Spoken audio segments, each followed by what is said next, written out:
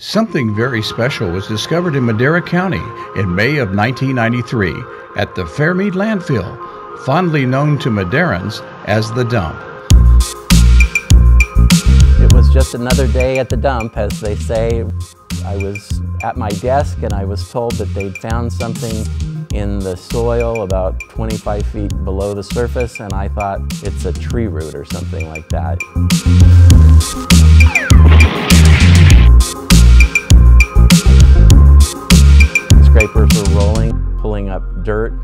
Scratched out a 12 foot long pinkish colored anomaly in the, in the color of the rest of the soil.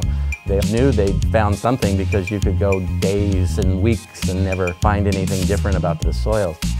When they had experts come in, they determined it was a Columbian mammoth tusk.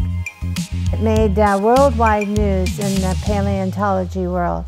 It was actually during the summer of the first Jurassic Park. It all kind of wrapped together and there was CNN. It was like, oh my goodness, this is like world news for us. And the tusk was just the first largest find.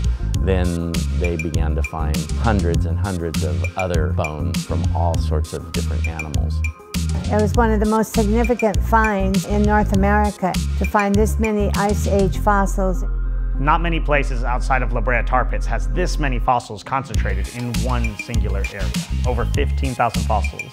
To this day, we're still finding them. Fresno State paleontologists were excited to have a source so close to Fresno State.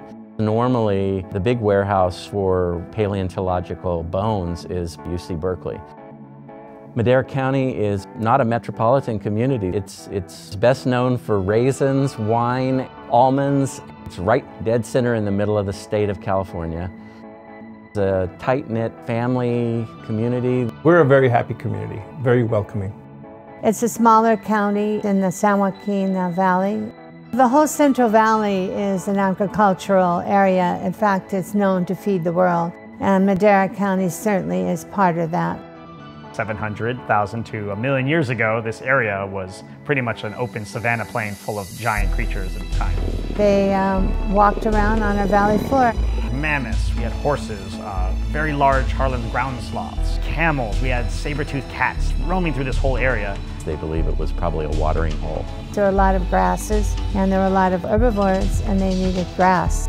Somehow or other, during the Ice Age, a lot of them got picked up and swept through during one of the ice sheets melting by the Sierra Mountains. For whatever reason, a lot of it settled here at the landfill next to the museum.